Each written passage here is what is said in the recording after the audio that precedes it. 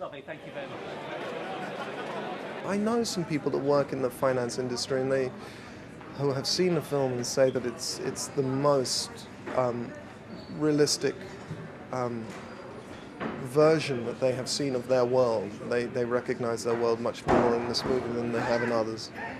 So that's, I mean, you know, that's a, that's a, that's flattering. There are $8 trillion of paper around the world relying on that equation. Well, we were wrong. No, you mean you were wrong. Sir, if those assets decrease by just 25%, that loss would be greater than the current market capitalization of this entire company. How long would it take to clear that from our books? You cannot be doing what you're thinking of doing. Sell it all today. You're selling something that you know has no value. So that we may survive. Concerned about what is happening, but I personally do nothing more about it than talk about it to people. So I don't think I'm really politically active. I, I think I'm an actor, I'm a storyteller, and I think Margin Call was a story that needed telling.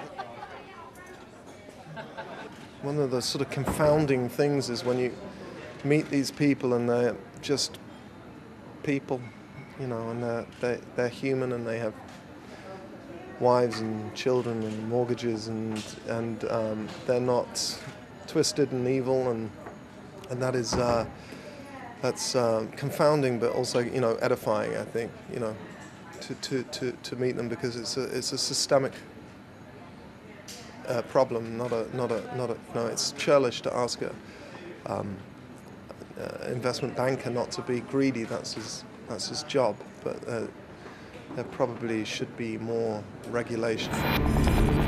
There are three ways to make a living in this business. Be first, be smarter, or cheat. Look at these people wandering around with absolutely no idea what's about to happen. You're a very important piece of this puzzle. Are you in on this? I can tell you that people are going to say some very nasty things about what we do here today. If we're going down, and you damn well know it'll be together. I'm not sure that I do know that. The ground is shifting below our feet.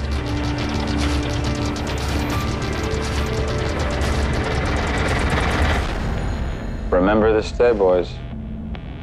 Remember this day. I do think it's interesting. This film was, you know, is about the crash of 2008 and seems just as appropriate today as it as it was, you know, for that for that time. And um, I mean, uh, like I say, I'm a blonde actor. I shouldn't be making predictions. Um, I think that our culture is a you know, we, we, we, we, we tend to sort of define how successful our life is by our ability to purchase things and not how happy we are in our lives. And that's a sort of, that's a sad state of affairs.